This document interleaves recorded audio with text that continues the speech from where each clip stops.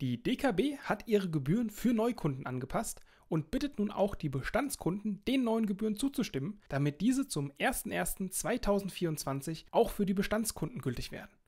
Welche Gebühren angepasst werden und was sogar günstiger wird, erfährst du in diesem Video. Wenn du ein Depot bei der DKB besitzt, hast du eventuell schon mitbekommen, dass dich die DKB nach deiner Zustimmung zu den neuen Gebühren des DKB-Depots gefragt hat. Denn die DKB hat vor kurzem ihre Gebühren für das DKB-Depot für Neukunden angepasst und möchte diese neuen Gebühren nun auch bei den Bestandskunden ab dem 01.01.2024 anwenden. Hierfür braucht die DKB aber die Zustimmung der Bestandskunden, da die neuen Gebühren sonst nicht angewendet werden können. Aber welche neue Gebühren kommen nun auf dich zu? Das Gute erst einmal zu Beginn. Die Depotführung bei der DKB wird auch weiterhin kostenlos bleiben.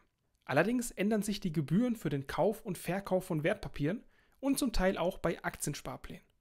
Bisher waren die Gebühren beim Kauf und Verkauf von Wertpapieren primär davon abhängig, ob du an Handelsplätzen im Inland oder Ausland tätig warst, beziehungsweise Fonds über die Fondsgesellschaften gekauft oder verkauft hast und wie hoch das entsprechende Ordervolumen war.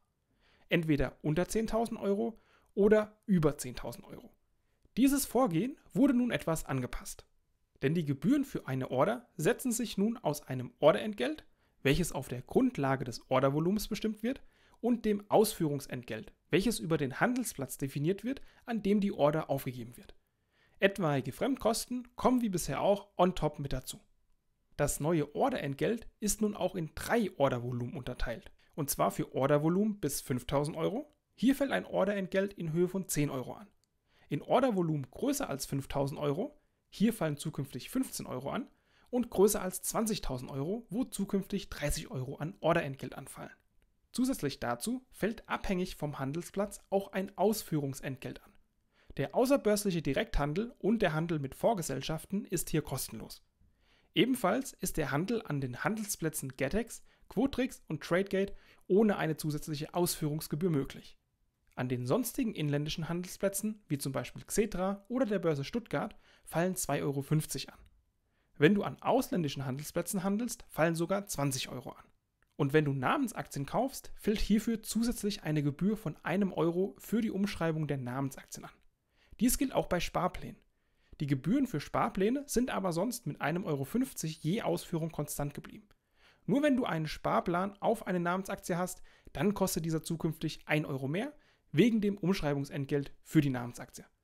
Um nun aber ein besseres Gefühl für die neuen Gebühren zu bekommen, hier ein paar Beispiele. Wenn du bisher an inländischen Ausführungsplätzen gehandelt hast, hast du für Orders bis 5000 Euro 10 Euro Gebühren gezahlt.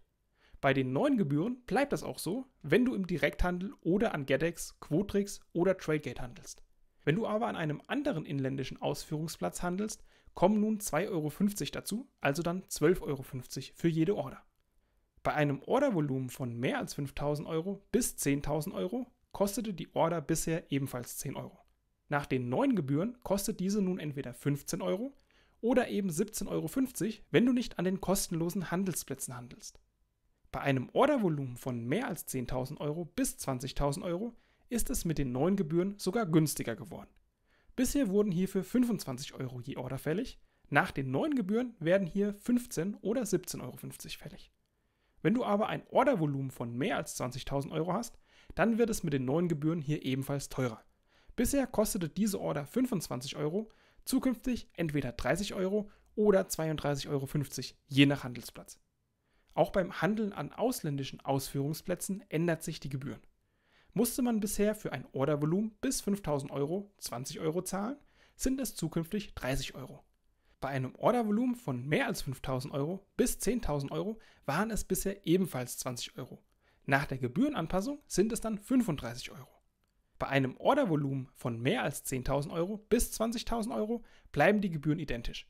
Hierfür fielen bisher 35 Euro an und auch mit den neuen Gebühren bleibt es hier bei 35 Euro. Bei einem Ordervolumen über 20.000 Euro fallen aber statt der bisherigen 35 Euro dann zukünftig 50 Euro an. Was sagst du zu diesen Anpassungen? Noch im Rahmen, da ja auch nicht jede Order teurer wurde, oder mittlerweile doch zu teuer? Lass es uns in den Kommentaren wissen. Und jetzt wünschen wir dir noch eine schöne Zeit und bis zu unserem nächsten Video.